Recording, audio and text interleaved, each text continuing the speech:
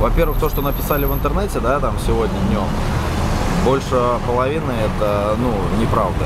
Это стопроцентная ложь, да, который, как бы, ну, я готов ответить за свои слова. Хочу, конечно, бы, чтобы вот эта женщина была, которая, ну, на меня оскорбляла, да, то есть, которую я попросил выйти из машины. Вот, хотелось бы, чтобы она здесь при- присутствовала и, ну, при мне тоже, да, это все как бы говорила. Остановился на остановке, открыл дверь и услышал свой адрес, какой я плохой, секой и плохой водитель. В результате чего я просто попросил человека, чтобы выйти из машины и все. Вот это вы нарушили правила дорожного движения какое-нибудь? Пере- пере- может быть, перестроение там с двух полос, возможно, да.